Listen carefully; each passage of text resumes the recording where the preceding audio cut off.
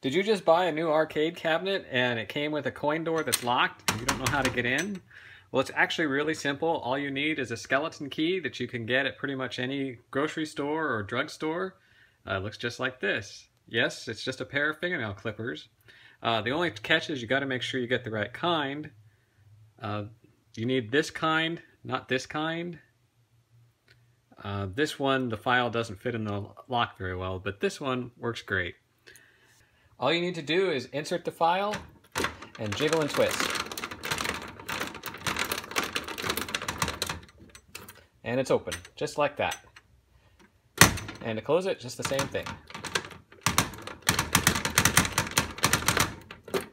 And it's locked again.